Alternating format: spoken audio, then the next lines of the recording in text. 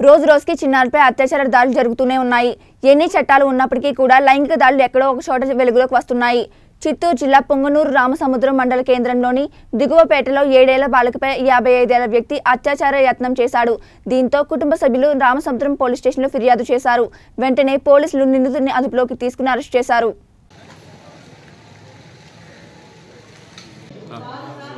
ఒక మహబూబ్ భాష అనే అమ్మాయిని. అటెంప్ట్ సెక్షువల్గా అటెంప్ట్ చేయడానికి ట్రై చేసిన అని చెప్పేసి. సో వాళ్ళ తాలూకా వాళ్ళ ఫాదర్ వచ్చి మాకు కంప్లైంట్ ఇచ్చినాడు ఈరోజు మాకు ఎయిట్ ఓ క్లాక్ సో దాన్ని మేము కంప్లైంట్ తీసుకొని ఫిర్యాదు నమోదు చేసిన ఎఫ్ఐఆర్ ఏమిటో జరిగింది. పోక్స్ యాక్ట్గా ఎఫ్ఐఆర్ వేయడం